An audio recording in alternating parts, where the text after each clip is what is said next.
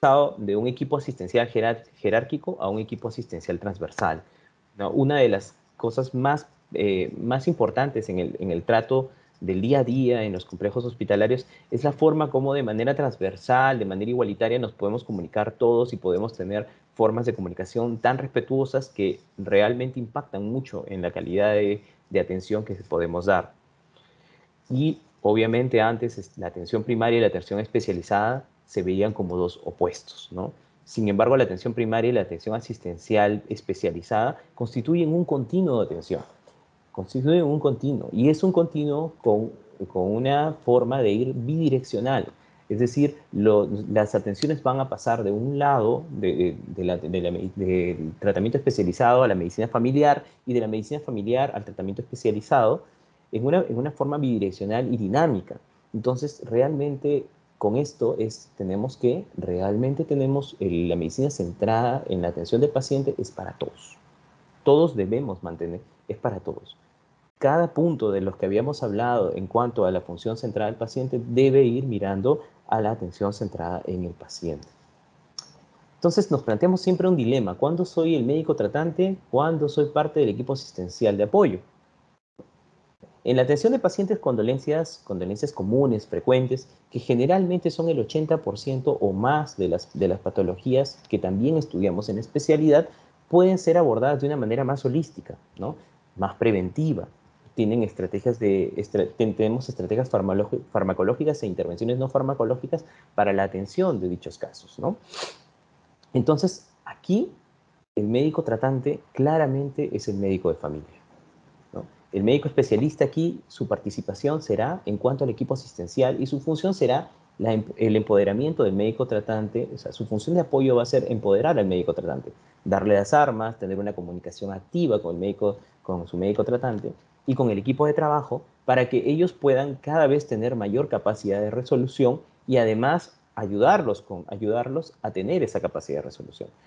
Algunas veces ellos necesitan, por ejemplo en neurología, necesitan que definamos algunos puntos claves en la atención de un paciente.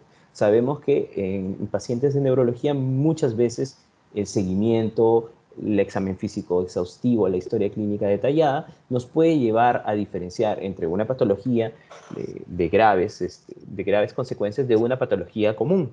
Entonces, muchas veces también tenemos que ser lo suficientemente claros y explícitos para poder apoyar en este trabajo.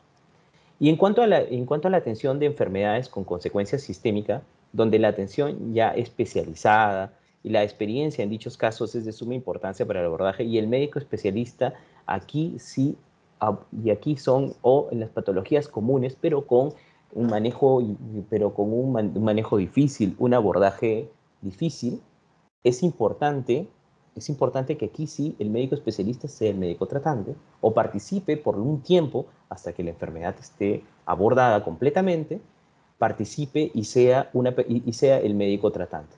Cuando el paciente ya esté completamente, cuando el paciente esté en condiciones de continuar un manejo mucho más general, el médico tratante se desplazará al médico de familia.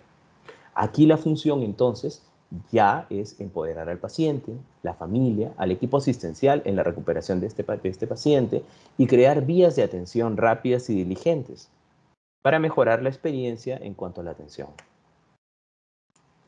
La neurología ha empezado a cambiar mucho en los últimos 10 años. ¿no? El, advenimiento de, el advenimiento de la resonancia magnética, resonancias funcionales, estudios funcionales, eh, el cambio en los targets de farmacológicos ha traído consigo que la medicina, que la neurología moderna se empiece a distanciar muchísimo de los protocolos de atención primaria. Entonces aquí es donde empezamos a ver el gran, el gran problema y, y los retos que tenemos por aquí. De un lado tenemos los avances en el tratamiento recuperativo, pero de otro lado también la evidencia cada vez soporta más las cosas mucho más básicas de prevención. Entonces tenemos, por ejemplo, que dentro de las 21 estrategias para la prevención de demencia, todas ellas se llevan en un protocolo, se, llevan en protocolos de evaluación general, de manejo de riesgos cardiovasculares y modificación higiénico-dietéticas. Entonces, estamos ante dos grandes cosas, avances en cuanto al tratamiento recuperativo, pero también hay avances muy grandes en el tratamiento preventivo. Aquí el reto es balancear, tener una intervención eh, completamente simétrica y siempre apoyando muchísimo más la prevención y la promoción de, la medicina que en la actividad recuperativa como tal. ¿Por qué? Porque definitivamente es mejor no enfermar que recuperarte de una enfermedad. Porque definitivamente los recursos son limitados y no solamente en, no solamente en países como el nuestro. En, todo el mundo vamos a tener recursos limitados. No es raro escuchar listas de espera en países con muy buen desarrollo de, de la salud, con listas de espera de seis meses.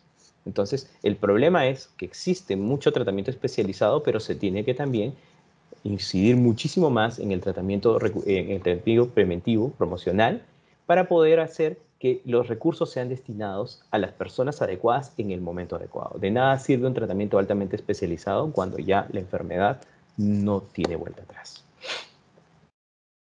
Entonces, hemos dicho que para armonizar la atención centrada en el paciente y la atención especializada, debemos desarrollar la, atención de patologías frecuentes en un 80% de los atendidos aproximadamente o más, y dejar vías de atención ya altamente especializadas para el 20% de la casuística que puede ir cambiando y es de manera dinámica, es decir, no siempre un paciente, una epilepsia de difícil manejo va a quedarse en el consultorio de neurología, pero se quedará hasta que ésta sea de un manejo estable y estacionario y hayamos entrado y, hayamos logrado eh, llegar a la familia, llegar al paciente en cuanto a las expectativas de tratamiento. Las mejoras que se ha conseguido en el trabajo conjunto con medicina familiar las ha enumerado Arturo también. Eh, yo solamente voy a decir que puntualmente en neurología los acuerdos de derivación funcionan muy bien. Eh, eh, ya tenemos la capacidad y los exámenes de la, y la referencia para exámenes de neurofisiología también están yendo muy bien. ya es, eso definitivamente acorta pasos, hace más, hace más fácil y más rápida la atención para, para los pacientes. Además de eso, también nos permite la identificación temprana de signos de alarma.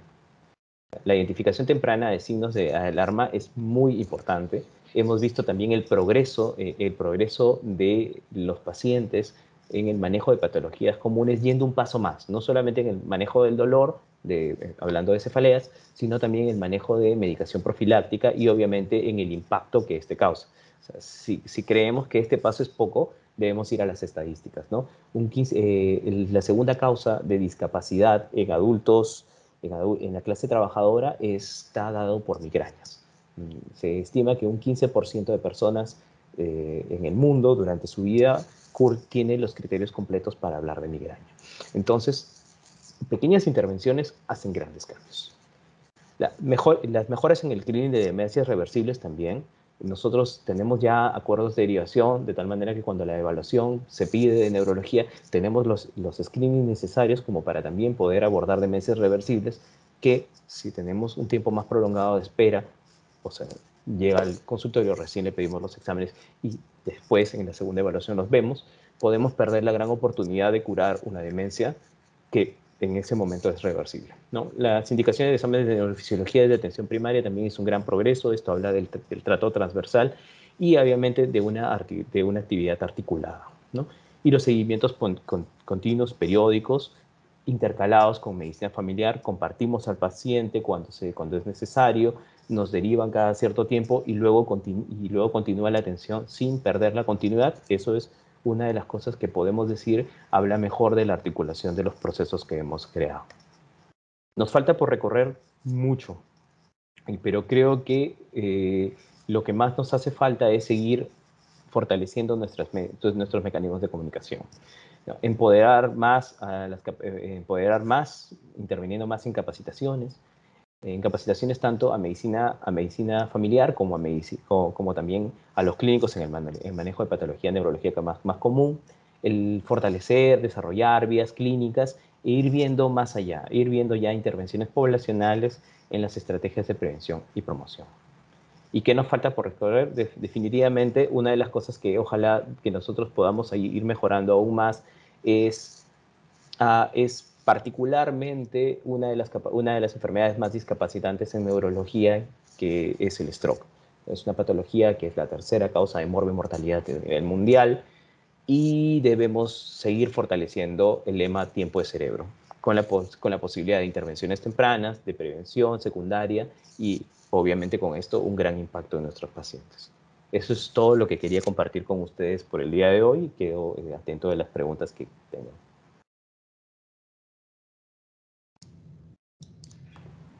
Muchísimas gracias, doctor Villarreal, por su excelente exposición. Eh, hay, en el chat eh, hay felicitaciones también a ambos ponentes por la ponencia.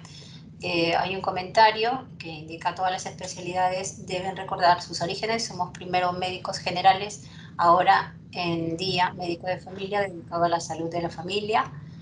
Eh, nuestro modelo es único en Lima, pero como es el modelo con el que todos los estudiantes de medicina sueñan, está siendo copiado por otras instituciones privadas y del Estado y eso nos enorgullece. Este, excelente ponencia y sí, hemos este, este, enfoque multidisciplinario centrado en el paciente, como bien lo han comentado, es, es, nuestro, es, nuestro, es nuestro, nuestro eje, es en lo que estamos trabajando, se han conseguido grandes cosas y involucrar siempre al paciente como un ente activo en la recuperación de su, de su enfermedad, tanto al paciente y a la familia. Entonces, ese, ese, ese es nuestro enfoque. Eh, trabajamos coordinadamente con las diferentes especialidades para tratar de brindar una mejor atención a nuestros pacientes. Eso, en, eso nos enfocamos. Muchísimas gracias a ambos. No tenemos más preguntas. Y bueno, damos por finalizada esta ponencia y damos pase a la, a la, a la mesa. Gracias. Muchas gracias a todos ustedes. Muchas gracias a, la doctora Raquel por, por, por moderar esta, esta ponencia. Eh, pasamos a nuestra mesa redonda, ¿no? Eh, que va a tratar sobre el alcance de la medicina de familia. Aquí estarán participando el doctor Carlos Catalán, el doctor Jordi Riva, la doctora Rosa Villanueva y la doctora Katia Chávez va a ser nuestra moderadora. Por favor, Katia, te dejo el pase a ti. Muy buenos días en Lima, Perú. Buenas tardes para el público e invitados en el extranjero. Bienvenidos a este segundo día de esta cuarta jornada científica, fortaleciendo el primer nivel de atención a través de la medicina de familia. Según la Academia Americana de Médicos de Familia, la medicina familiar es la especialidad que brinda atención médica continua e integral para el individuo y la familia. Es la especialidad que integra en profundidad las ciencias biológicas, clínicas y del comportamiento, su ámbito abarca a todas las edades, ambos sexos, cada uno de los sistemas y órganos del cuerpo humano y cada entidad de la enfermedad. Como hemos escuchado en las diferentes ponencias del día de ayer y hoy, hemos podido comprobar que la medicina familiar es la efectora de la atención primaria y al igual que la mayoría de las demás especialidades médicas, posee un cuerpo de conocimiento propio así como instrumentos y habilidades que le permiten diferenciarse en el objeto de su práctica. El médico de familia es el profesional responsable de proveer atención integral y continua a cualquier individuo desde la atención primaria, que es la puerta de entrada al sistema sanitario, teniendo en cuenta tanto las necesidades de su población como los recursos disponibles en la comunidad a la que sirve. Resaltamos que el médico de familia hace hincapié en la responsabilidad permanente de la atención de la salud a través del primer contacto y la evaluación inicial, así como de la atención continua de los problemas crónicos, donde la prevención y la detección precoz de la enfermedad son características esenciales de esta disciplina.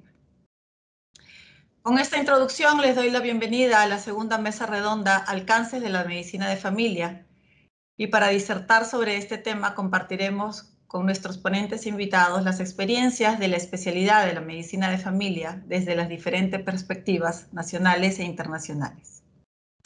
En ese sentido, le doy la bienvenida a la doctora Rosa Villanueva. Muy buenos días. Ella es médico de familia, especialista en medicina familiar y comunitaria con maestría en gestión de salud.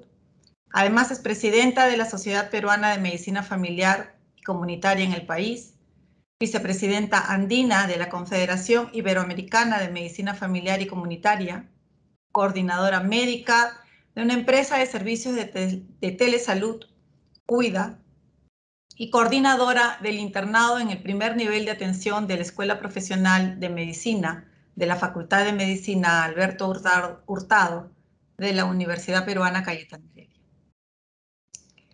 Un gusto también saludar y bienvenido al doctor Carlos Catalán, director asistencial del Grupo Rivera.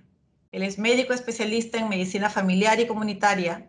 Ha trabajado en distintos centros de salud, en atención primaria, en servicios de urgencias hospitalarias y en unidad de corte estancia adscrita a un servicio de medicina interna. Desde el año 1999 comienza a trabajar en el Hospital Alcira en Valencia, España, que dio nombre al modelo de colaboración público-privada para la gestión de un hospital público. Desde el año 2005 tiene responsabilidades como director asistencial en áreas de salud integral. Nuestro invitado especial e internacional, bienvenido doctor Carlos. Y nuestro tercer invitado, un miembro de casa de IBT, bienvenido doctor Jordi Riva, gerente asistencial de las sociedades operadoras Callao Salud y Villa María del Triunfo Salud, médico cirujano con diplomado en gestión hospitalaria, con experiencia de más de 20 años en cargos gerenciales y de dirección médica en hospitales pertenecientes a distintas instituciones de salud en España y director de proyectos, consultor nacional e internacional en temas de salud, además de docente universitario en cursos de posgrado y máster en gestión hospitalaria. Con nuestros ponentes comenzamos entonces esta segunda mesa redonda y les lanzo la primera pregunta para que por favor desde sus conocimientos y experiencia profesional en el país y en el extranjero nos pueda comentar, doctora Rosa, primero, ¿cómo considera que contribuye la medicina familiar en el sistema de salud de un país? Hola, ¿se me escucha bien? La escuchamos, doctora. Eh, disculpe que no, no pueda prender la cámara, estoy eh, justo en el trabajo. Eh, agradecida por la invitación a, este curso, me parece muy importante. felicitar también al consorcio porque son los de son el equipo que de hace muchos años han apostado por la medicina familiar, incluso sé que ya tienen un, convenio para iniciar el residentado eh, en sus policlínicos y sus hospitales. Entonces, me parece que eh, han asumido ese reto. Eh, ¿Cómo la medicina familiar contribuye en los sistemas de salud? Nosotros sabemos que la, especialidad de medicina familiar y comunitaria es la efectora de, la atención primaria de salud en todos los sistemas de salud. ¿no? Y la atención primaria de salud, entendida como una estrategia transversal, es la que va marcando la pauta para poder este, mejorar los indicadores en nuestros servicios de salud, ¿no? Eh, eh, ya está aprobado desde el año 80 con investigaciones de, de Barbara Starfield en Estados Unidos, con Kringle en Europa, de que el apostar por un médico de familia por cada mil personas hace que eh, disminuyan, por ejemplo, las atenciones de urgencia, disminuya la mortalidad por enfermedades crónicas, porque este médico de familia va a ser el que va a acompañar al usuario en todo el transcurso de su relación salud-enfermedad, ¿no? Y, esto contribuye a que se marque una relación de empatía con el usuario, con el paciente, y eh, el paciente pues no tenga un, un aumento del sobrediagnóstico, la, el sobretratamiento, ¿no? Entonces, ¿cómo contribuye la medicina familiar? Es a esto, a, tratar de disminuir esos indicadores de salud que a raíz de, digamos, del uso desmesurado de la tecnología, ha conllevado pues a, que, a situaciones críticas en el cual se abusa de, todo lo que es los, recursos, exámenes de laboratorio. Y algo que hay que entender es que los recursos en salud son finitos, o sea, tienen un, un límite de uso, ¿no? Entonces, no podemos, por ejemplo, a todos los usuarios hacerles una resonancia magnética, ¿no? Tenemos que ver quién sí lo, merece y quién no tanto como que lo merece o si, si está indicado y, en quién no, ¿no? Y eso lo va a hacer pues el médico de familia. Eso por un lado quería remarcar en esta pregunta. Muchas gracias. Y es cierto, los exámenes auxiliares, como su nombre lo dice, nos ayudan a llegar al diagnóstico, más no definen el plan de tratamiento. Y en la misma línea, doctor Carlos, considerando lo que nos comenta la doctora respecto a la contribución de la medicina familiar en un sistema de salud, em, ¿cómo es que ha visto que este modelo de atención centrado en la atención primaria, específicamente medicina familiar y atención primaria, se ha desarrollado y ha tenido éxito en España, por ejemplo? Eh, sí, ayer contábamos en una presentación que la, historia de la medicina de familia en España tiene algo más de 40 años de historia y que los primeros, los pioneros de la medicina de familia en España ya se han empezado a jubilar después de 40 años de servicio, ¿no? Y, la verdad es que ha revolucionado el, tipo de asistencia que se presta en el país.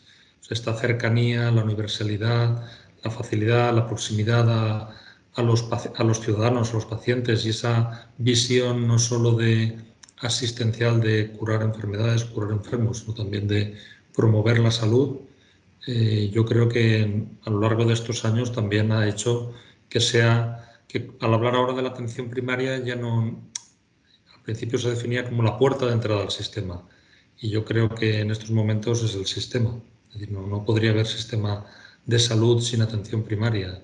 Eh, no podría sobrevivir o, sobreviviría mal el país solamente con, con, atención de hospitales y de especialistas.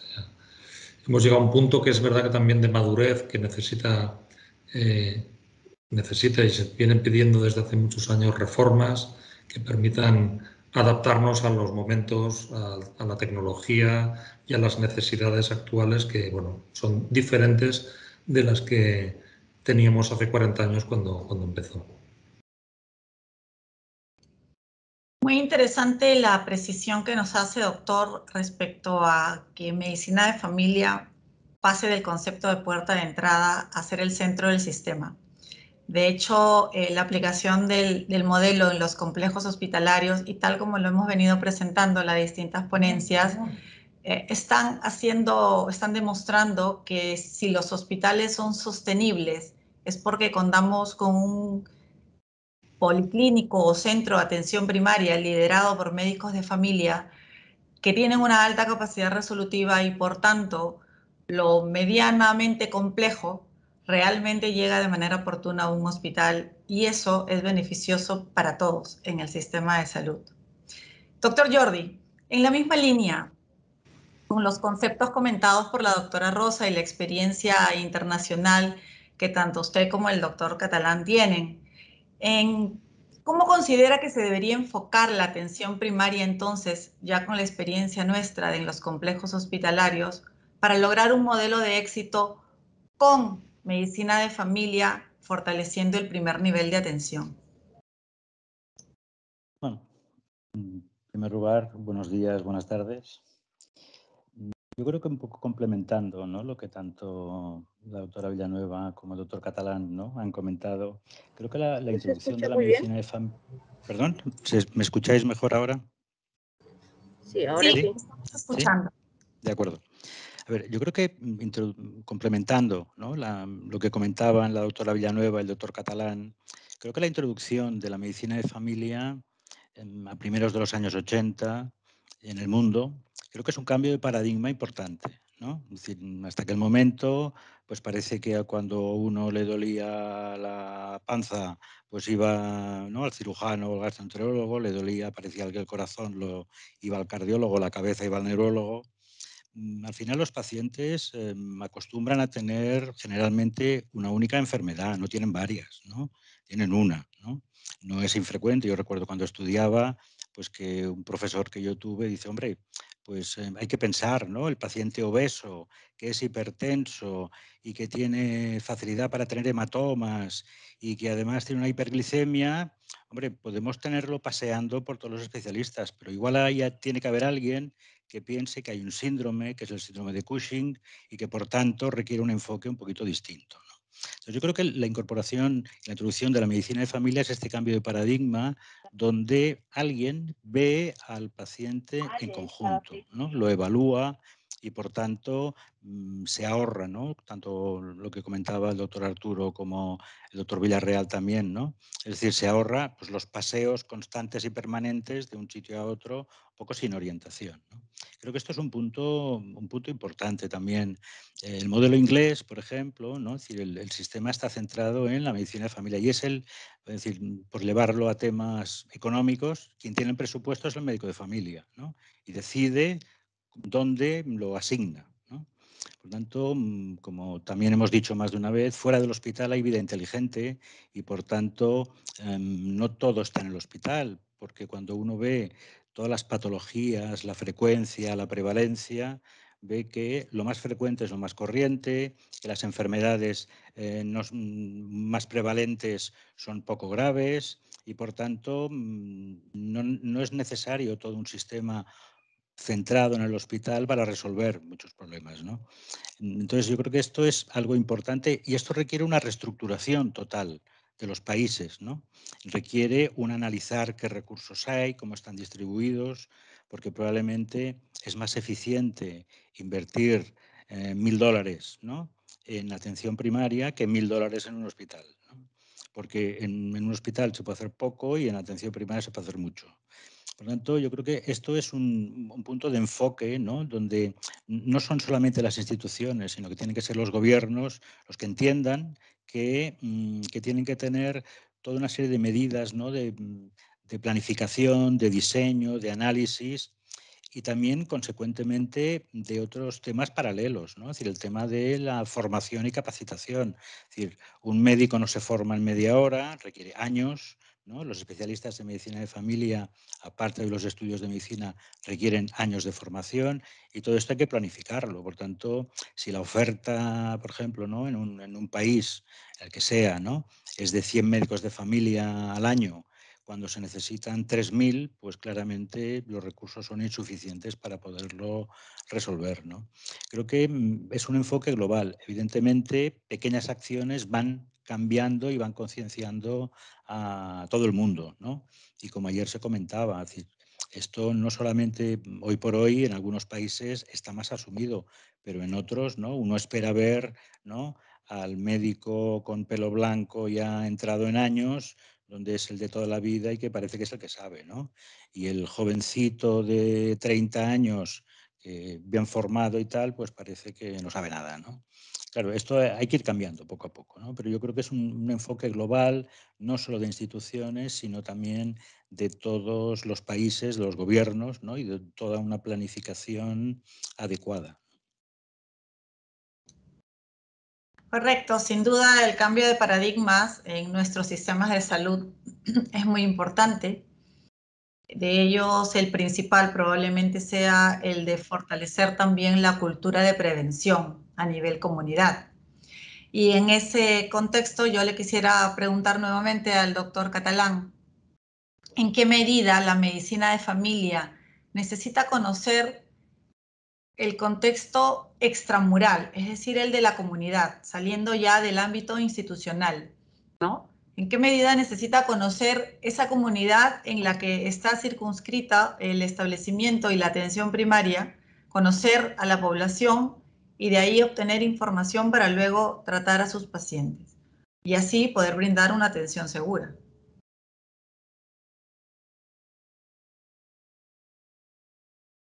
Su audio, doctor, por favor.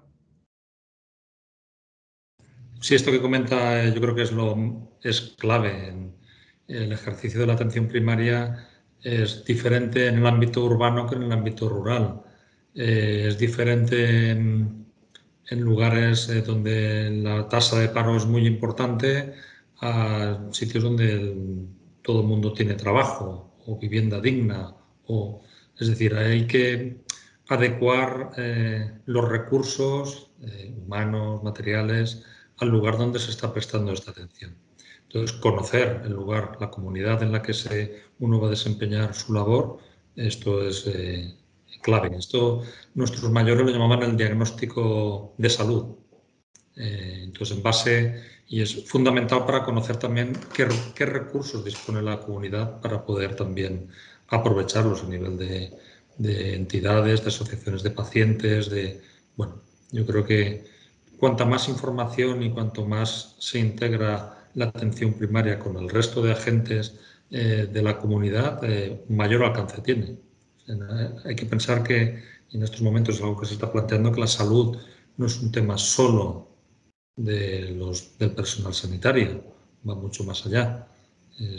tiene que ver también con, entre comillas, con la salud ambiental, eh, animal, perdona, y con, la, con el medio ambiente. hay muchos condicionantes que no, no tienen que ver solamente con la genética o con la biología del ser humano.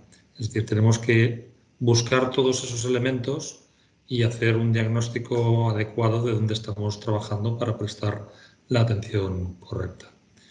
Eh, luego hablábamos también ayer de que, que, son importantes también algún tipo de herramientas basadas en, el, en la historia clínica electrónica a partir de los diagnósticos que codificamos que permiten conocer también las necesidades de salud que tiene esa población.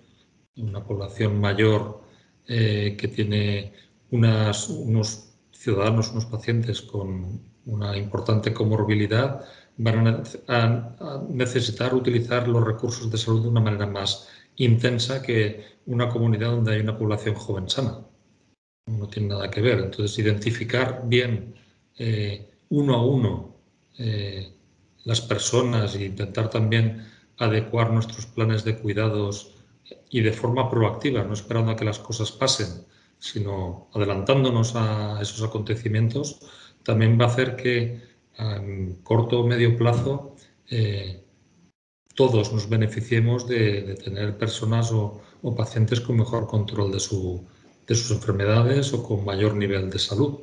Que esto al final, eh, el objetivo eh, no es que ingresen menos personas en el hospital, que está bien, como un objetivo para un grupo que gestiona una, una cápita, ¿no? está fenomenal, pero lo más importante es alcanzar el mayor nivel de salud de esa comunidad.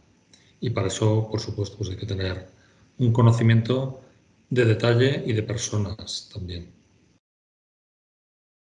Sin duda, entonces, el sistema de salud debería fortalecer esa sociedad estratégica entre medicina de familia y comunidad. Y a partir de ahí ir sumando otros actores que contribuyen a mejorar el estado de salud de la población y bueno, poco a poco la de un país. En ese camino quisiéramos estar todos y aquí le preguntaría a la doctora Villanueva desde su experiencia en la academia como presidenta de una sociedad importantísima de especialistas, ¿qué dificultades ha, identificado la Sociedad eh, Peruana de Medicina de Familia al desarrollar la medicina familiar y en el campo de la atención primaria de salud en el país. ¿Cómo, cómo ve en este momento la situación de la especialidad y qué perspectivas para ello? Hola, eh, las dificultades, nosotros como especialidad e, en el Perú tenemos ya cerca de 32 años. Eh, la especialidad surge en los años 80, 81 en dos universidades, la Universidad Cayetano Heredia y la Universidad eh, San Marcos. Eh, nosotros durante aproximadamente 10 a 15 años hemos tenido lo que yo le llamo una crisis de, identidad. ¿no? al principio la medicina familiar tuvo otras denominaciones, ¿no? Eh, eh, se llamó medicina general integral, como, como es en Cuba, por ejemplo, ¿no? Y, se quería dar esa, esa, esa, esa connotación de promoción de la salud y prevención de las enfermedades.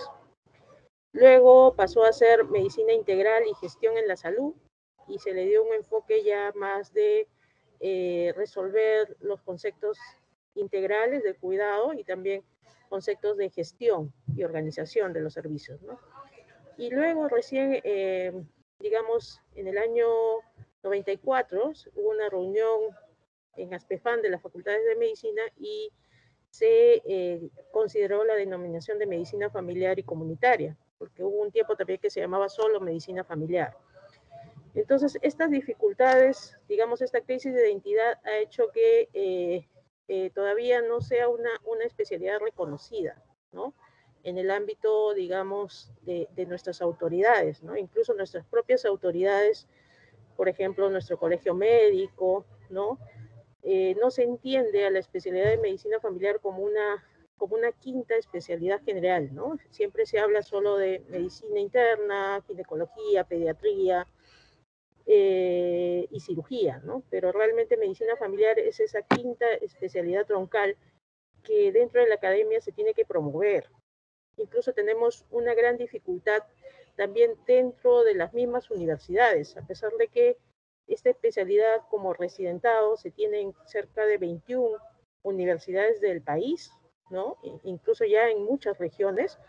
Eh, dentro de, digamos, de las universidades no hay un departamento de medicina familiar, ni siquiera de atención primaria, ¿no? Entonces, eso dificulta mucho eh, el poder eh, reconocer a esta especialidad como la especialidad efectora de la atención primaria en el país.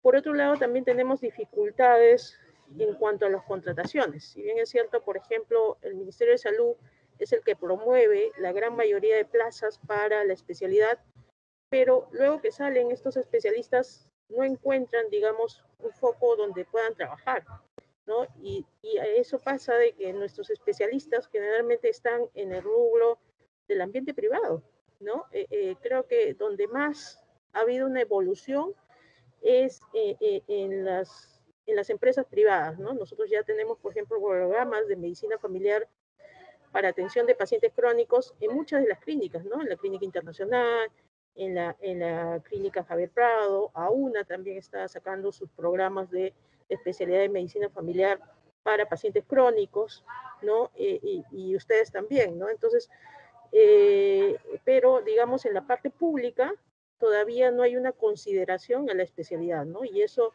eso dificulta mucho el poder, este, digamos, ser considerados y, y, conlleva también al hecho de que esta especialidad muchas veces no, no es considerada por los médicos que salen para eh, con, conseguir esa, esa plaza, ¿no? Entonces, este, hay muchas dificultades, pero yo creo que la pandemia, por un lado, a pesar de todo lo malo que ha sido, ha hecho ver de que es necesario el fortalecimiento del primer nivel, ¿no? Y el fortalecimiento va más allá de aumentar la infraestructura, aumentar la logística, también es capacitar al recurso humano, ¿no?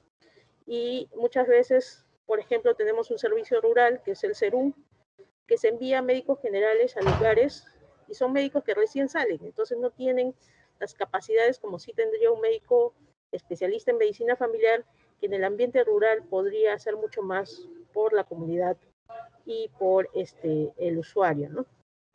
Eso, eso sería mi opinión, ¿no?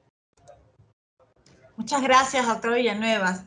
En efecto, creo que con lo que usted nos comenta, la comunidad médica y el sector salud en general, ¿no? Tiene un gran reto y tenemos un gran encargo para que desde nuestras posiciones actuales ayudemos a cambiar los conceptos y fortalecer aquello que estamos debatiendo en estos dos días para que medicina de familia efectivamente sea reconocida como una especialidad básica dentro de nuestro sistema de salud y pueda difundirse y extenderse a todo nivel en el país de tal manera que el primer nivel de atención realmente se vea fortalecido.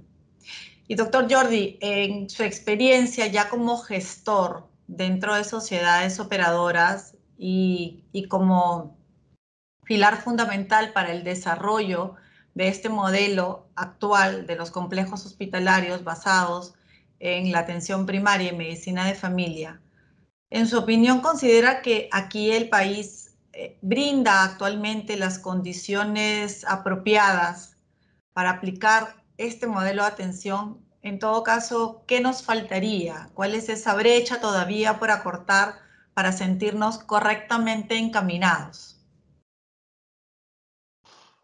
Pregunta complicada. A ver, la, las dificultades yo creo que desde el principio y creo que aún ¿no?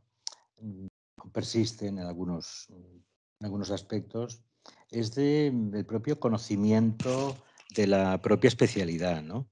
El conocimiento de la especialidad y de qué papel debe desempeñar dentro de, dentro de las instituciones y también qué relaciones deben establecerse ¿no? entre los distintos niveles, porque con frecuencia mm, de alguna manera, y, hablo yo no solamente en las sociedades operadoras, ¿no? sino en mi vida anterior, ¿no?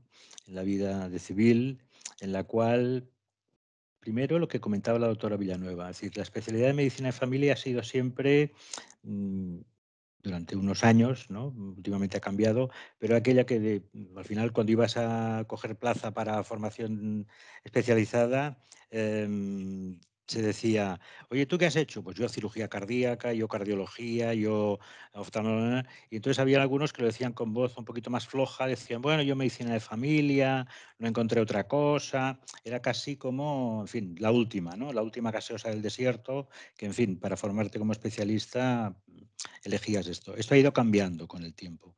Pero esto también ha hecho que mm, en, los, en, los, segundos niveles de atención, es decir, no el primero, sino el segundo, se vea también como atención primaria y el médico de familia como un quitador de problemas de, de los especialistas. ¿no? Y casi siempre es Mm, como yo he comentado alguna vez y en alguna otra reunión, decir, oye, yo estoy en el especialista del hospital y según qué especialidades más, ¿no? yo estoy en el oráculo, estoy en, en el trono divino y bajo a la tierra a hablar con los médicos de familia para decirles lo que tienen que hacer. Cuando probablemente el enfoque debe ser, oye, ¿qué necesita el médico de familia? Que en definitiva es otro cambio de paradigma, porque no atiende a episodios concretos y puntuales del paciente, sino que atiende todo el curso de su vida o debiera atenderlo, desde el nacimiento hasta el fallecimiento. Evidentemente la vida laboral no abarca tantos años, ¿no? Pero en definitiva mm, e, es esto decir, ¿qué necesita el médico de familia de algunas, de cada una de las especialidades? ¿no? Creo que tanto Arturo como, como Frank Villanueva lo han comentado antes, ¿no? Es decir, oye, mm, ¿qué necesita el médico de familia? ¿no? Yo, por ejemplo, si soy oftalmólogo, ¿no? Eh, digo, oye, pues qué es necesario que el médico de familia conozca y detecte pronto para que para evitar problemas, ¿no? O el cardiólogo, ¿no? Es decir, oye, el ojo rojo, oye, pues el ojo rojo hay un sistema no muy complicado, ¿no? Que si tú tienes una linterna que todo el mundo tiene y si la pupila se mueve, lo más probable es que sea una conjuntivitis y trátala así, si en dos días no está, me lo envías y si la pupila no se mueve, mándamelo ya y no te muevas. ¿no? Es decir, creo que son estos temas, ¿no? que, que, es esa comprensión de qué papel tiene que jugar el médico de familia dentro del sistema, entendiendo que no son procesos, sino es toda la vida, ¿no? El transcurso de, de, Y ahí es donde se incorpora este entorno biopsicosocial, donde el conocer el entorno, el conocer el medio es algo que condiciona. ¿no? Es decir, una, como comentaba el doctor Catalán, es decir, una sociedad donde hay un pleno empleo, unas condiciones saludables de las viviendas, un saneamiento adecuado y un ambiente, pues probablemente el tipo de enfermedades son distintos que cuando estamos ¿no? pues en, un, en un lugar con hacinamiento, mal saneado y que en definitiva y mucha desocupación. ¿no? Por tanto, y mala alimentación. Entonces, el conocer todo esto, mm, quien lo conoce es el médico de familia. Yo creo que las dificultades están un poco um, en que en nuestro país, en, Perú, el, el sistema de salud está fraccionado, dividido, compartimentado y muy hospitalizado, hospital céntrico, ¿no? donde cuando uno ve los recursos que hay, ves que, mm, ¿no? aunque, porque Perú tiene muchas características, la tercera parte de la población vive en el ámbito urbano, pero las dos terceras partes no.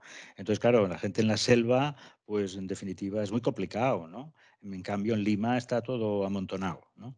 Entonces, yo creo que mmm, esas son un poco las dificultades, porque yo creo que hay poca estructura y las entrevistas que tenemos ¿no? con algunos profesionales que están trabajando en centros ¿no? de, de, salud o en postas, ¿no? Mm, prácticamente mm, tienen su conocimiento y poca cosa más, ¿no? porque no tienen acceso prácticamente a nada, ¿no? ni a medicamentos, ni a pruebas, y por tanto ¿no? tienen muchísimas necesidades y mucha dificultad para poder.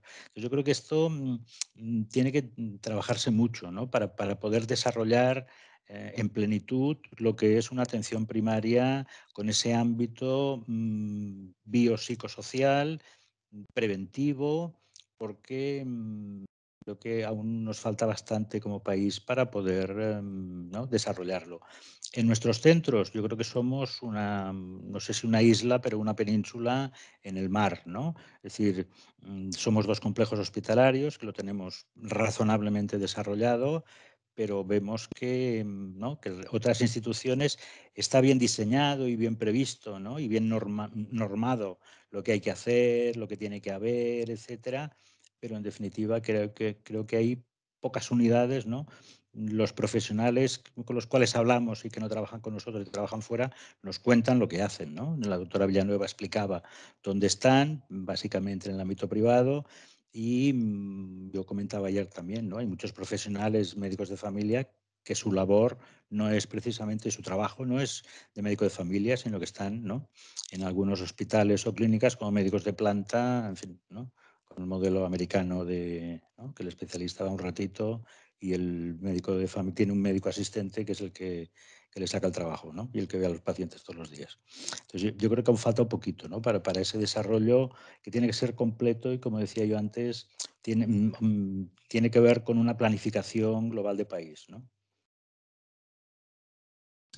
Es cierto, vivimos tiempos difíciles, eh, probablemente no seamos la excepción pero tampoco la justificación para no poder ponerle un poquito más de ganas y empeño a sacar adelante el sistema de salud de nuestro país.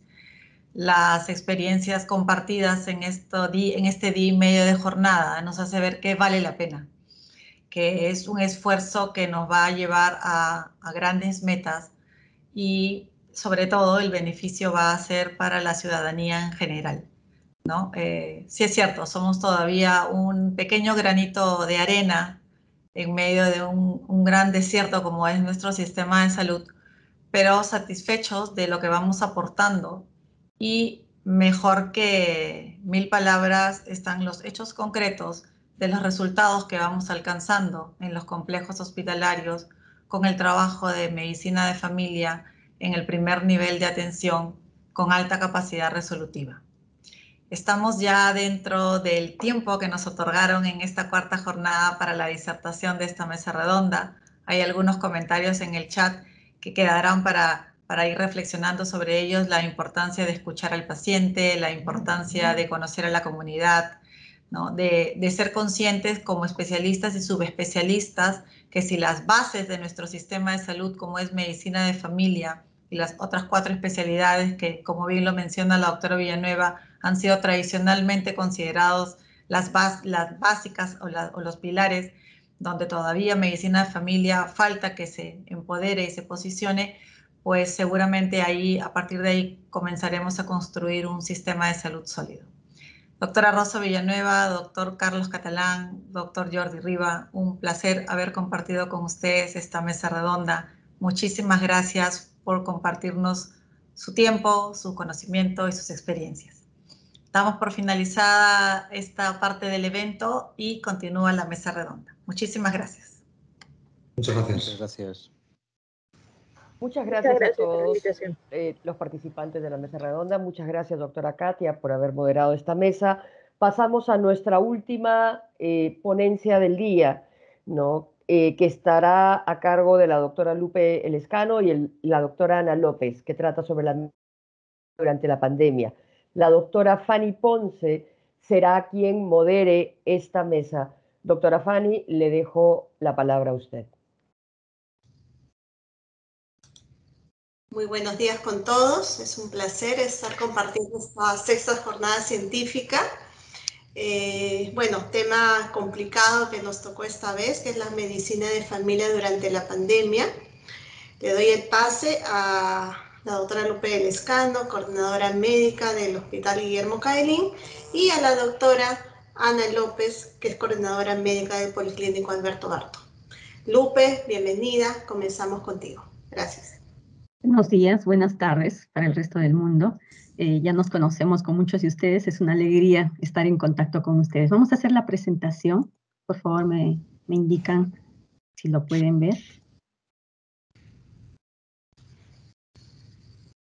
¿Lo pueden ver? Sí, Lupe, sí se ve. Muy bien. Bien, continuamos con esta sexta jornada científica Eh, me da mucho gusto que eh, continuemos hablando del primer nivel de atención a través de la medicina de familia y vamos a abordar un poco qué ha pasado durante la pandemia, ¿no? Para lo que es atención primaria y la medicina de familia. Hacemos un poquito de historia, ¿no? No nos vamos a detener en algunas fechas.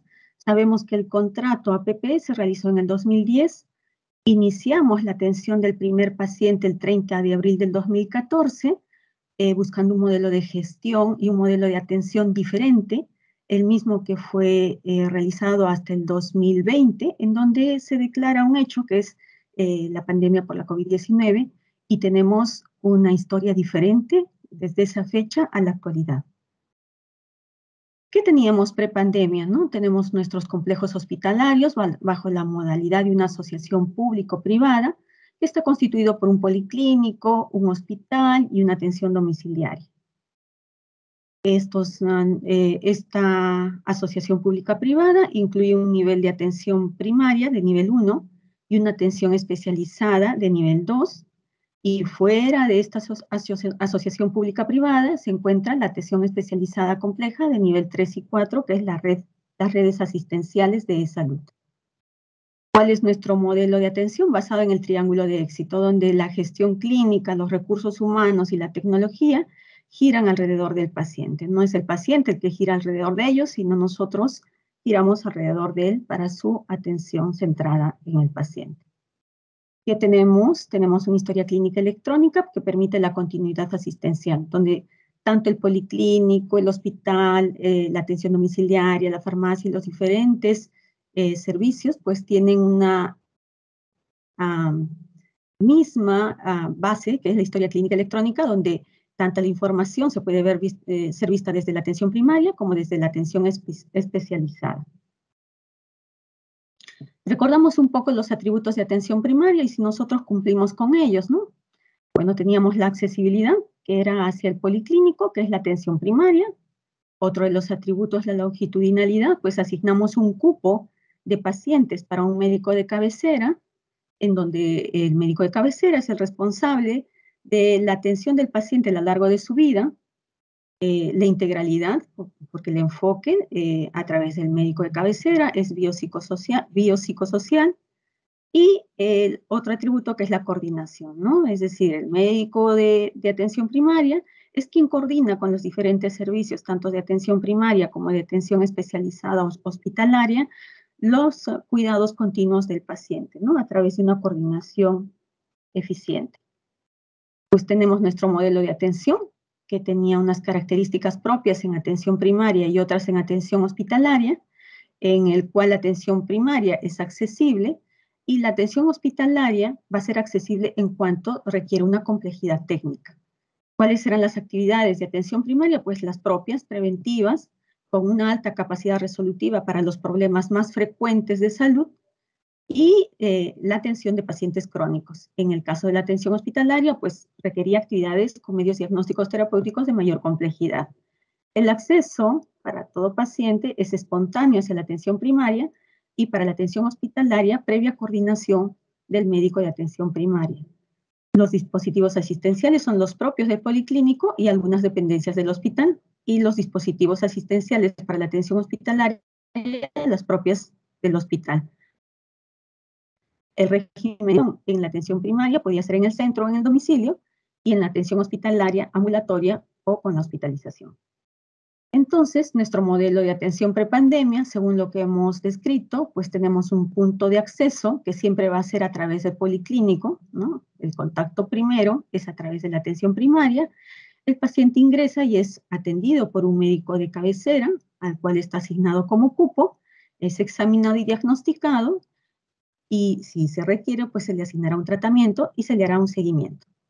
En otros casos, hay pacientes que de acuerdo a la patología, pues serán derivados a un nivel mayor de atención.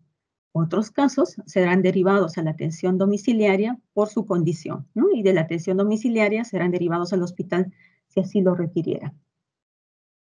¿Cuál es la, qué es lo que vino después, no? La cronología de la pandemia, pues tenemos el 5 de marzo, el primer caso, el 11 de marzo se declara la pandemia, el 15 de marzo se declara el estado de emergencia y cuarentena obligatoria y se eh, cambia la historia y el inicio de la vacunación recién inicia el 9 de febrero de 2021 y estamos a octubre de 2021, que es la actualidad. Entonces, en esta cronología, al 18 de marzo del 2021, en la cuarentena obligatoria, pues teníamos que nosotros seguir con nuestras atenciones y procurar la continuidad de actividades presenciales esenciales. ¿Cuáles eran esas esenciales? Pues continuar con la actividad de farmacia, el control de los anticoagulados que no puede parar, el control de gestantes, el control de crónicos, el control de pacientes de tuberculosis que eh, eh, tenían que ser priorizados en su atención.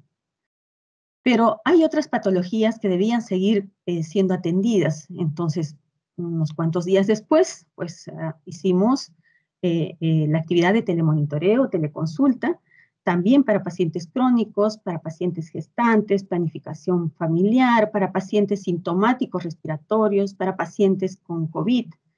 Y adicionalmente, pues eh, teníamos que, acoplarnos a las áreas críticas eh, del hospital, eh, atendiendo pacientes COVID y también el apoyo hacia la emergencia. Entonces, la atención primaria tuvo que desarrollar estas actividades que no se habían desarrollado antes y que debían iniciarse. Para el 8 de junio, pues tuvimos que hacer una reactivación progresiva de las actividades presenciales que sabíamos que no podían dejarse de lado, como son las inmunizaciones, la atención a adultos mayores, la atención a pacientes vulnerables. Para julio del 2020, pues ya se había regularizado la inmunización en menores de 5 años priorizados para el 21 de septiembre del 2020, pues habíamos seleccionado a cierto grupo de pacientes que debían ser atendidos de forma priorizada para la atención presencial. Y para el septiembre del 2020, pues teníamos el control prenatal de obstetricia. Para el febrero del 2021, iniciamos la actividad de la consulta para los pacientes eh, con sospecha de COVID.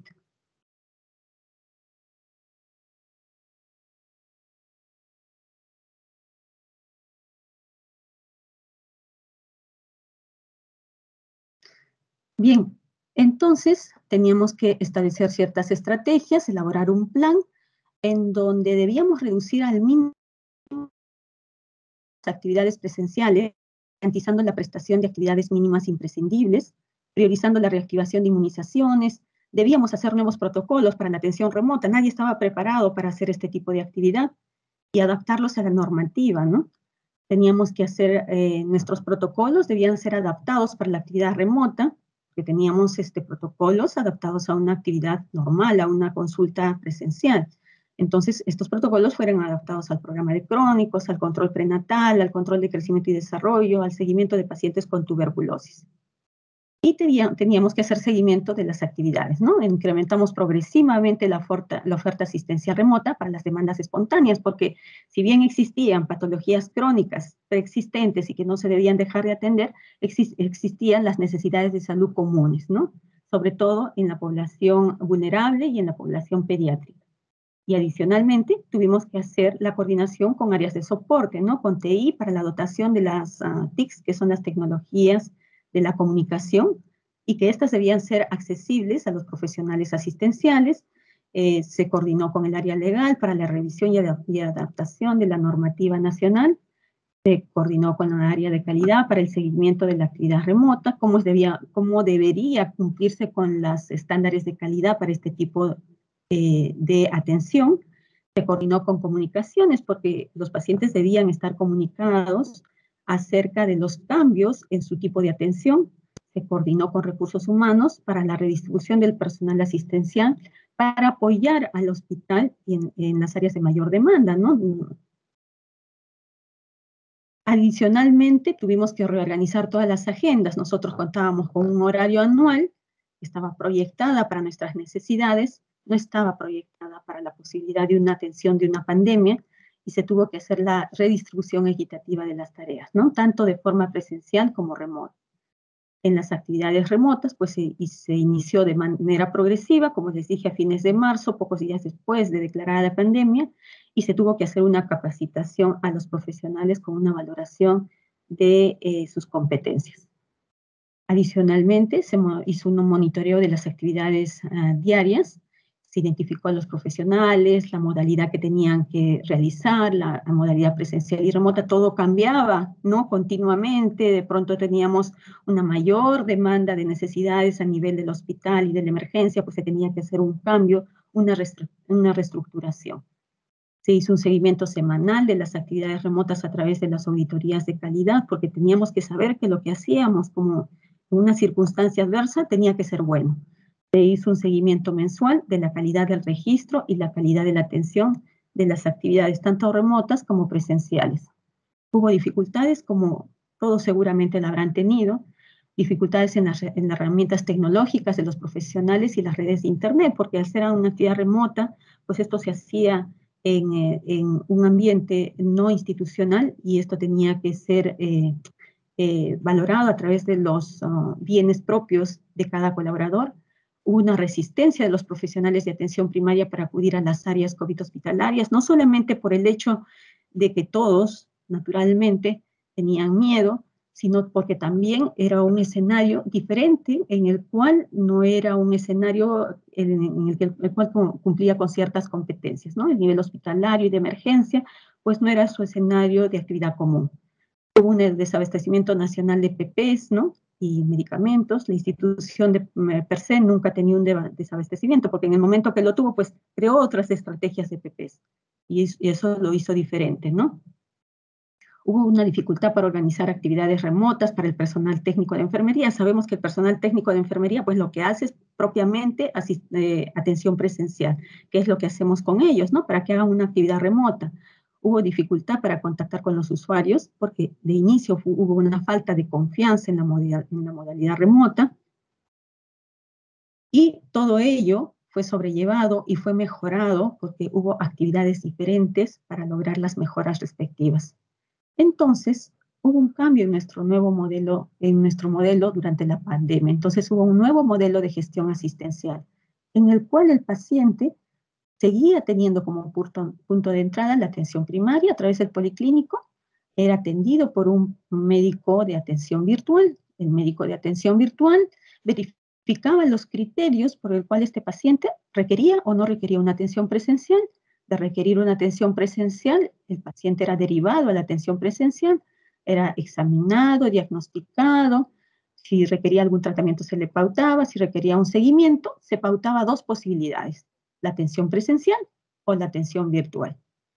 Asimismo, había pacientes que requerían la atención virtual, no requerían la atención presencial y el paciente era igual diagnosticado, eh, podía ser derivado a la atención domiciliaria o también podría ser derivado a la atención especializada eh, a través de los criterios de los protocolos de derivación.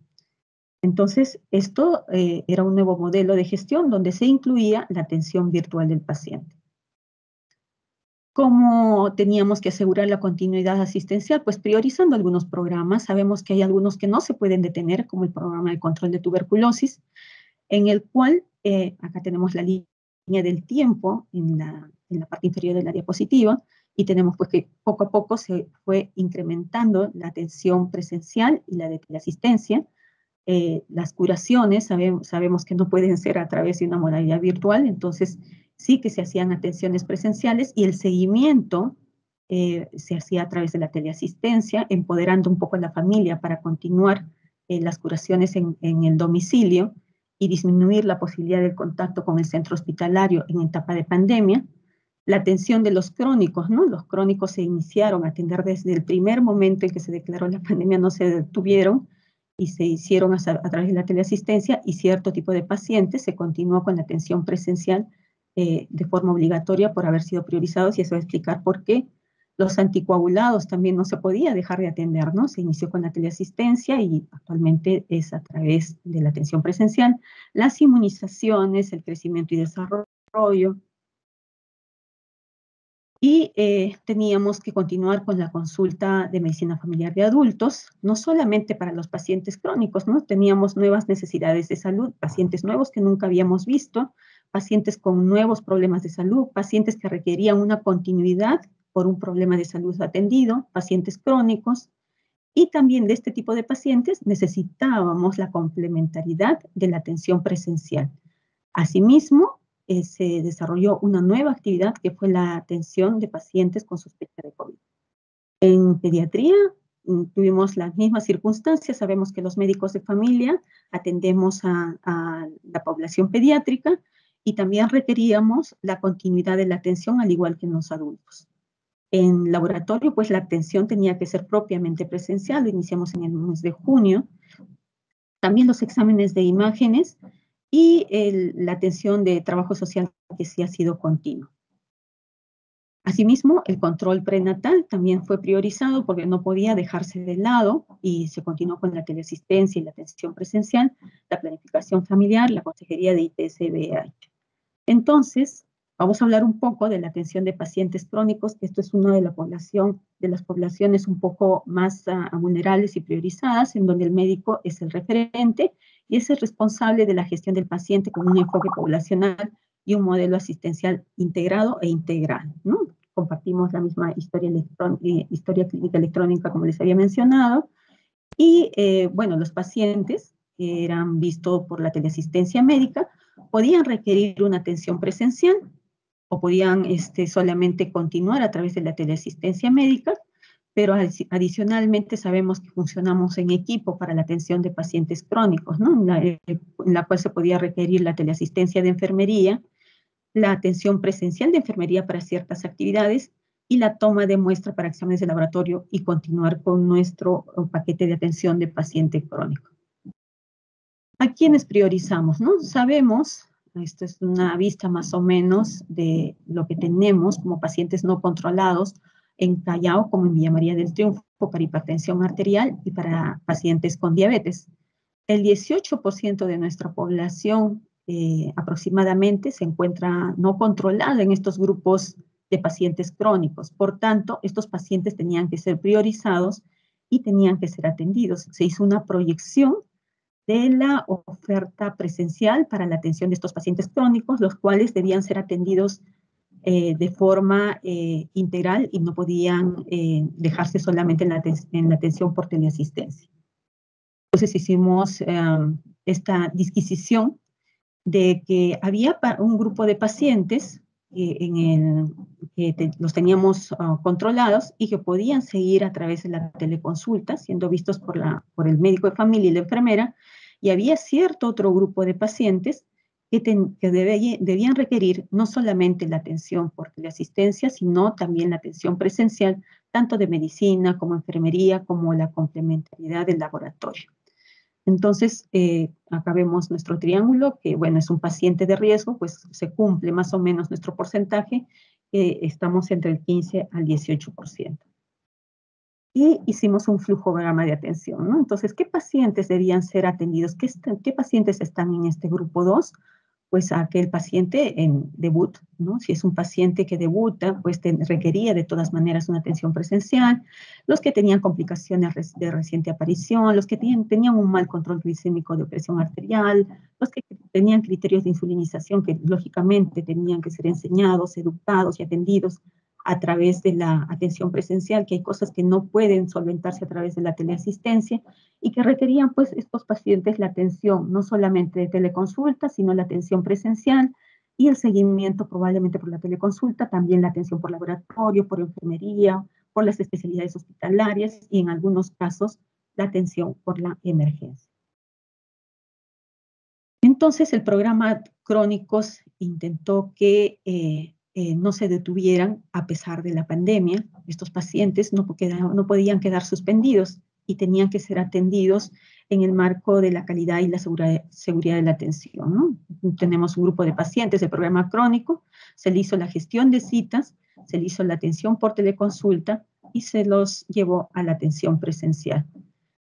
Entonces, tuvimos esto, ¿no? La teleconsulta con propósitos propios que era la evaluación clínica, identificación de signos de alarma, plan de tratamiento y seguimiento, la teleconsulta de enfermería también con objetivos propios, la atención presencial de medicina familiar con, eh, con ciertas tareas específicas, la atención presencial de laboratorio, la atención presencial de farmacia para la dispensación de la receta y la emisión de la receta en físico, y la atención presencial de enfermería que tenía actividades que no podían ser realizadas a través de la teleconsulta. Esto es un poco lo que se desarrolló en, el, tiempo de pandemia, que no fue sencillo, pero que sí eh, fue eh, realizado por los propósitos de la institución que están centrados en la continuidad de la atención.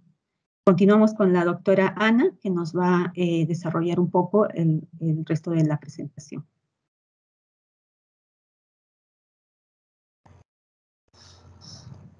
Muchas gracias, Buenos días con todos, buenas tardes, se encuentran en otras latitudes. Este, bueno, continuando con la presentación, un poco contarles lo que se hizo también a través de Telecovid, ¿no? En el periodo prepandemia, pues nosotros atendíamos un promedio de 1.500 pacientes por día, que significaba 8.250 pacientes por semana, 35.000 pacientes al mes por policlínico. ¿Qué pasó?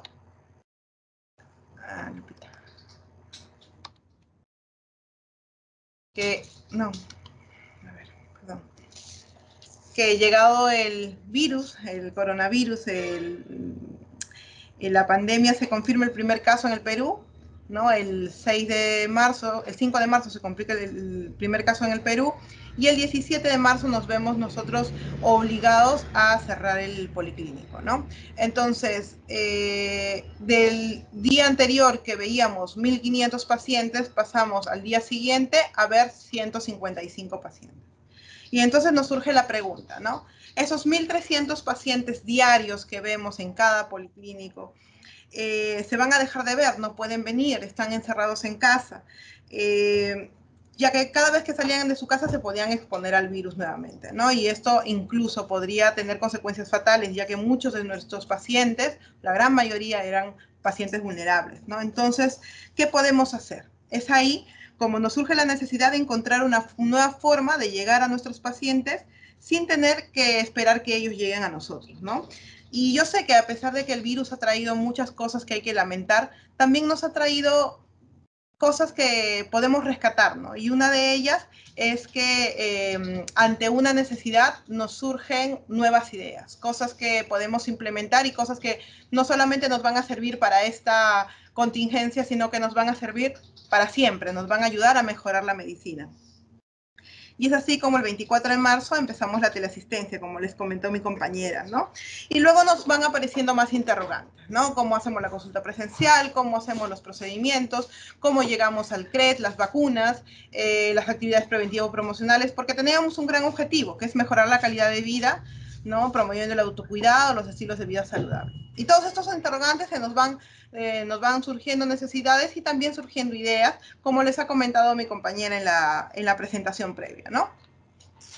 Pero luego también hay otra motivación, ¿no? Teníamos en los hospitales, los hospitales, las urgencias estaban eh, abarrotadas de pacientes, incluso, ¿no? Eh, nosotros llegamos a, a, apoyar también en estas urgencias, pero no era suficiente.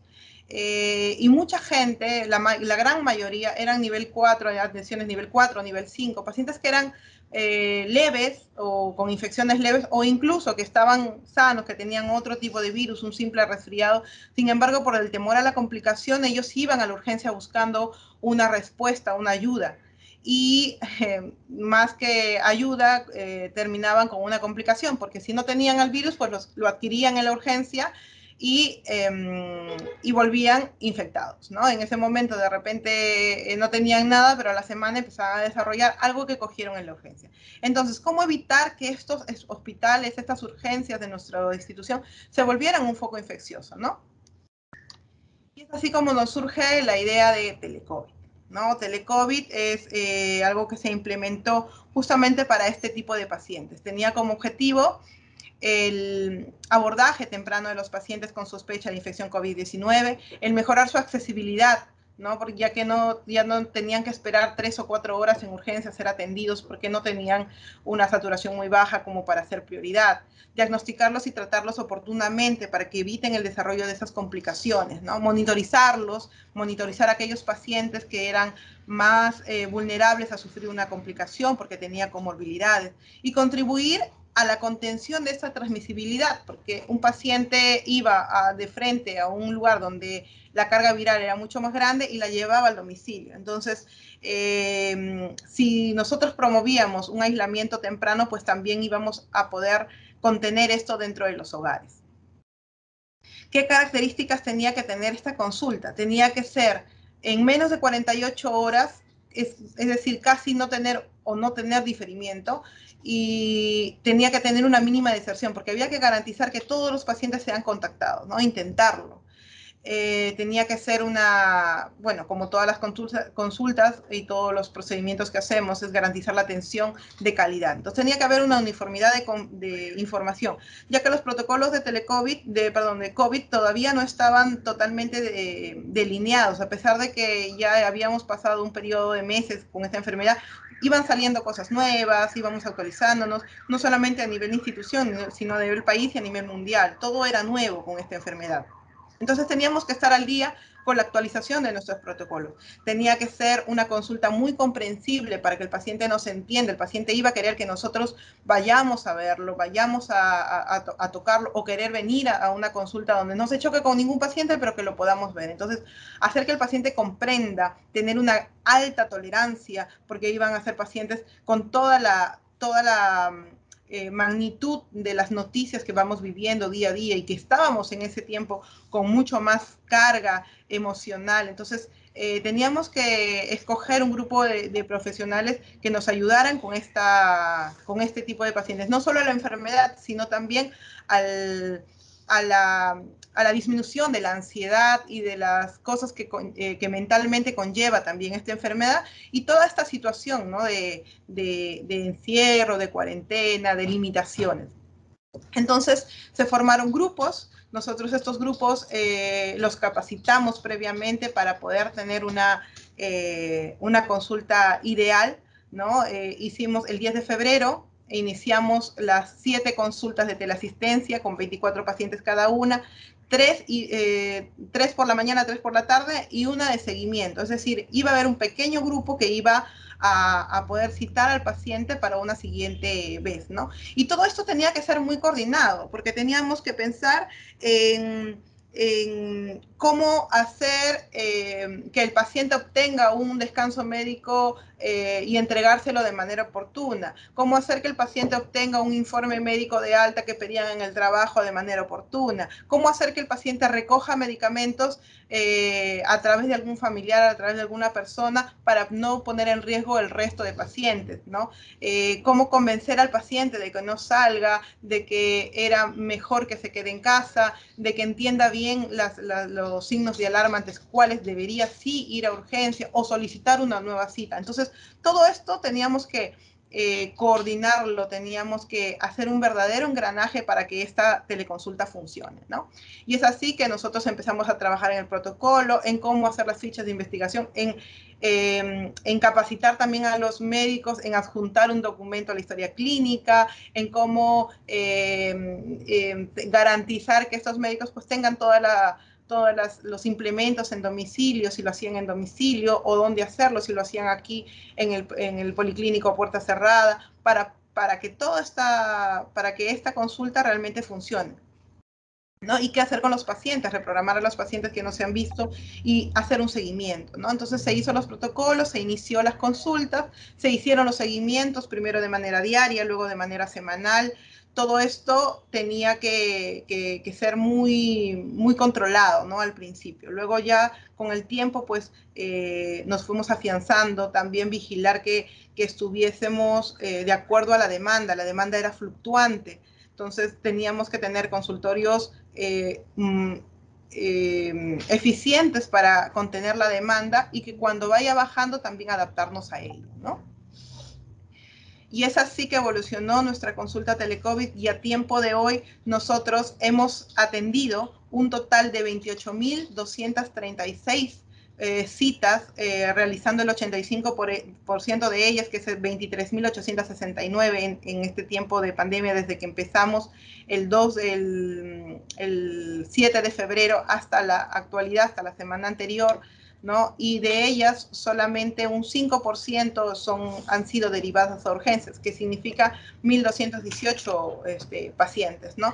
Si ustedes ven la evolución de la, de la consulta, aquí arriba tenemos las urgencias, ¿no? Entonces, em, podemos ver que el pico de la teleconsulta es mucho, mucho más em, empinado, digamos, que el pico de, la, de, la, de los pacientes en emergencia, ¿no? Lo que nos hace pensar, pues, que estos pacientes, en vez de ir a la urgencia, han venido a nuestras consultas, han optado por la teleconsulta y gracias a eso hemos podido atender a más pacientes que sean del nivel 3, 2 y 1 en nuestras urgencias y hacerlas más eficientes, ¿no? Es, una, es un, un logro eh, que hemos tenido en esta consulta.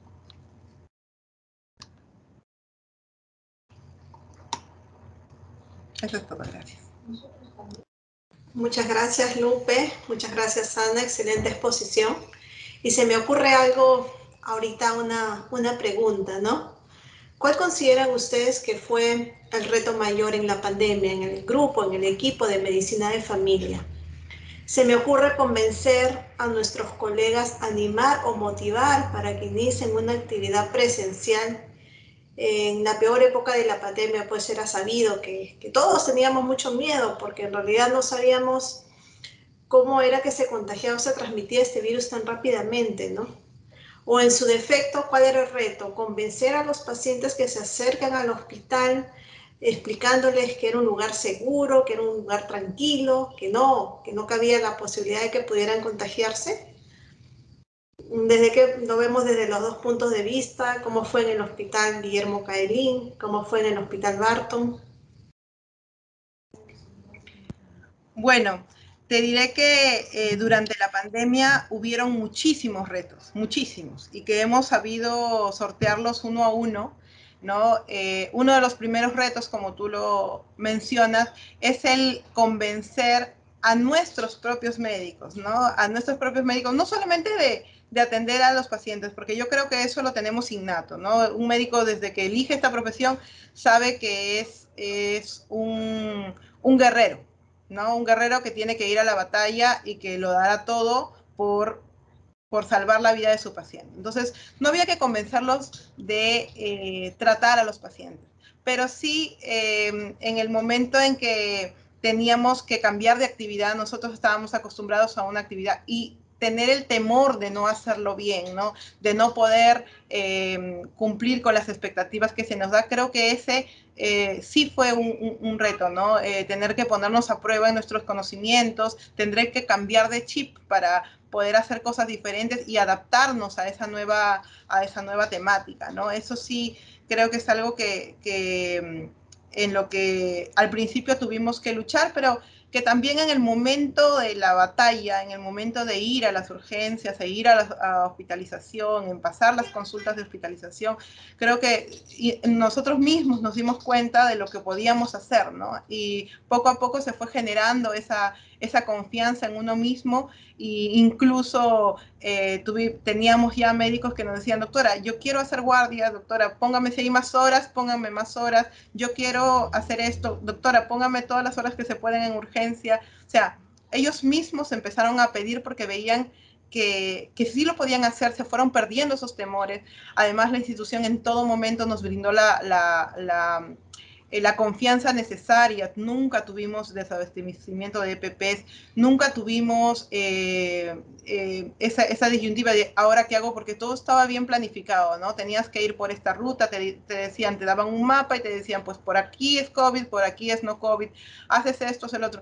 en todo momento hubo una comunicación para poder seguir directrices que nos mantenían en confianza de, de poder trabajar con, una, con esa seguridad, ¿no? Además, teníamos las pruebas que se hacían, ¿no? Entonces, esto fue, fue generando cada vez eh, un mejor ámbito para poder laborar, ¿no?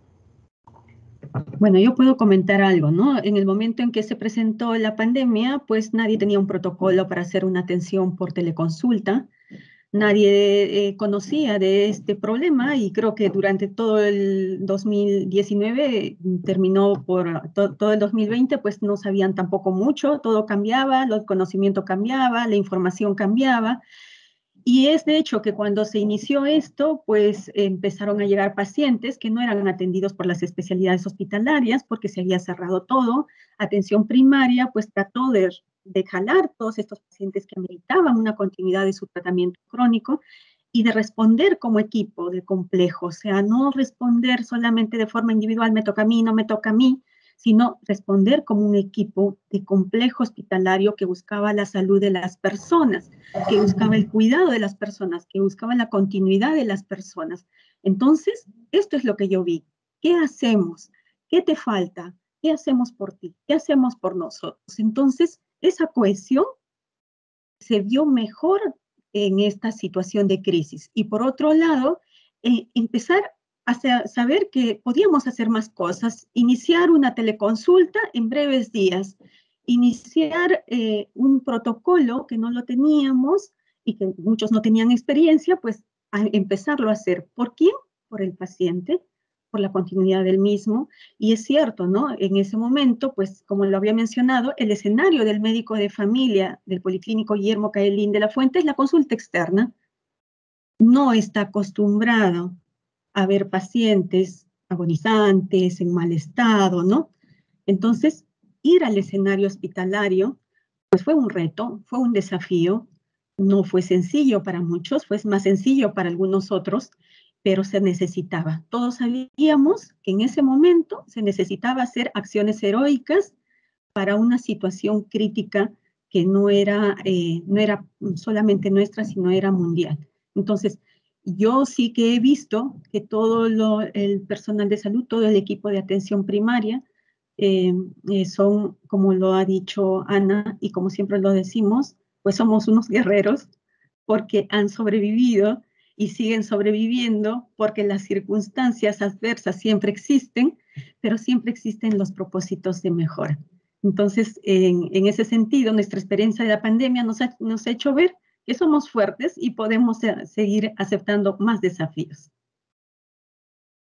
Sí, justo comentarles, eh, leyendo en el chat, más bien lo único que hay es palabras de agradecimiento para la especialidad, agradecimiento al de soporte, el soporte que, que dieron al área de emergencia, agradecimiento al vencer primero nuestros propios temores, ¿no? Porque primero era vencer nuestros temores para enfrentarnos a otro tipo de temores. Entonces todo eso es valorado. Solo leo eh, mensajes de agradecimiento y con esto concluimos, chicas. Eh, gracias, gracias por el apoyo, gracias porque, porque siempre estuvieron ahí y superando primero nuestros temores para poder atender a nuestros pacientes. Concluimos con, con, esta ponencia de la doctora Lupe y la doctora Ana, agradeciendo de antemano su atención. Creo que ya pasamos a, a concluir, creo que nos hemos pasado un poquito de tiempo. Gracias. Muchas gracias. Muchas gracias. Muchas gracias a todas ustedes por, por esta excelente mesa y esta, excelente, excelente presentación. Ahora, como palabras finales, tenemos al arquitecto Carlos Roques, quien es el gerente general de las sociedades operadoras. Antes de que pasemos a las palabras de él, después les voy a pedir a todos para que prendan sus cámaras y podamos tomarnos una foto virtual. Este, Carlos, por favor, tus palabras finales. Gracias, Marcela.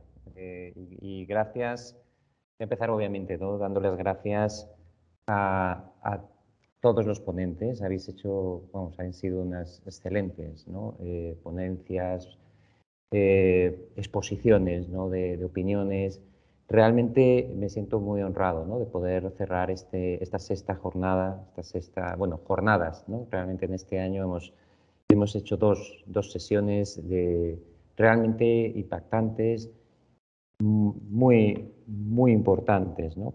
Eh, quiero, agradecer, quiero agradecer en primer lugar a, la doctora Rosa Villanueva, presidenta de la Sociedad Peruana de Médicos de Familia, eh, al doctor Carlos Catalán, del director asistencial del Grupo Rivera, que es socio nuestro, asociado, y realmente el grupo que, que, lideró y que, llevó adelante este modelo en España, eh, el modelo de, público-privada, por el modelo asistencial eh, basado en, la atención centrada en el paciente, primarista, eh, y al doctor Pascual Charela, el decano de la Facultad de Ciencias, Peruana de Ciencias de la Salud, eh, por realmente toda su contribución y este apoyo a la construcción de, nuestra jornada, en la cual obviamente han intervenido miembros de nuestra organización, eh, grandes profesionales, debo de decir, con los cuales tengo el orgullo de poder trabajar día a día.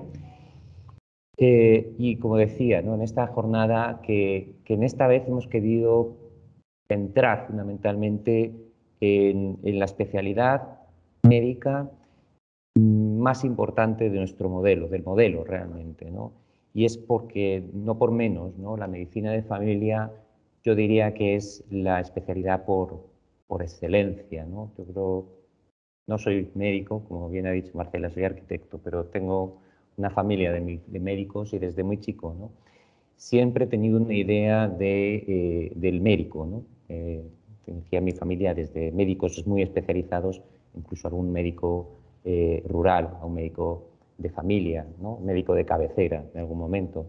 Realmente para mí es como el, realmente el arquetipo ¿no? realmente del médico, pero realmente también tiene sentido, y como ya lo hemos hablado y se ha hablado en estos, en estos dos días, la especialidad de médico de familia realmente tiene que estar en el centro del sistema, ¿no? y es aquella que permite hoy por hoy en los sistemas tal y como se entiende los sistemas de salud, cual, que, que la medicina de familia tiene que estar ahí, tiene que ser el eje, el promotor, el motor de un modelo de salud que realmente se ha visto y está demostrado que es eficiente. Eh, yo creo que en estas jornadas hemos podido ver el pasado, el presente, el presente más inmediato, eh, las dos últimas ponencias realmente buenísimas, ¿no? de demostrando qué tipo de enfoque nos está dando el médico de familia, la medicina de familia y, eh, y el futuro también. Incluso eh, yo veía la exposición de Rivera realmente como la vanguardia, el, punto donde hoy por hoy los sistemas y los modelos ¿no? de atención del paciente están apuntando y por tanto donde todos debemos de acudir, donde todos debemos de, de ir. Estas jornadas también tienen mucho de, mm, no solo de reconocimiento hacia la figura del médico de familia, sino también de concienciación de lo que realmente eh, debe ser el modelo asistencial y hacer un llamado también ¿no? a, la, organización, ¿no? a, los, a los políticos o a la política de salud de la nación para que realmente dé un espaldarazo ¿no? a este modelo y a esta profesión. Y para muchos profesionales hacer un llamado para que realmente escojan, ¿no? El doctor Riva decía, ¿no? Que en la cultura, ¿no? De alguna manera la profesión parece ser que es quizás la menos llamativa de las, ¿no? o una de las menos llamativas, pero realmente eh, hay que darle, cambiar el concepto y cambiar la cultura de la sociedad y debemos de ponerla en el primer nivel, no, no asistencial, sino en el primer nivel de posición y, nada, desde ya agradecerles a todos ¿no? por participar. También quiero agradecer en general ¿no? a la, contribución de la Universidad Norbert Wiener, que va a acreditar estas, estas eh, jornadas. Y, bueno, eh, en definitiva, agradecer a todo el equipo que ha hecho posible estas jornadas. Creo que ha sido un gran trabajo. Y, nada, eh, esta, toda esta información, evidentemente, va a mantenerse, vamos a divulgarla, vamos a, poderla compartir en nuestras redes. Invito a todos a hacer seguimiento y que en definitiva estas jornadas queden para, apoyar y para dar eh, en el futuro todo el sentido a nuestro sistema de salud y que la salud peruana realmente llegue a donde tenga que estar. Muchas gracias a todos.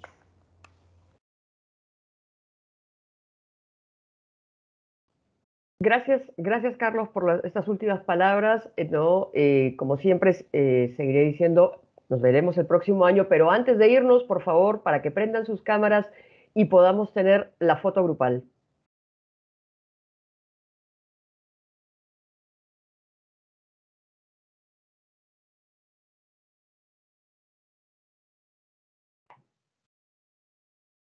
Sé que faltan algunos, vamos a ver. ¿Quiénes nos faltan?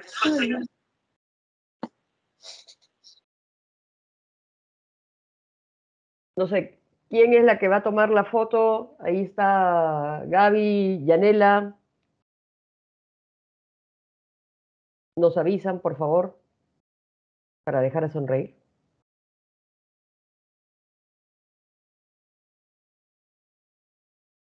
Listo, ya estamos. Gracias. Muchísimas gracias por la asistencia a todos ustedes. Nos vemos el próximo año, siempre con nuestra siguiente jornada científica. Muy agradecidos. Y gracias por la presencia a todos. Gracias. Cuídense. Adiós. Gracias. Cuídense mucho. Ya nos estamos Muchas viendo. gracias. Hasta luego. Gracias a todos. Gracias. Ah, va.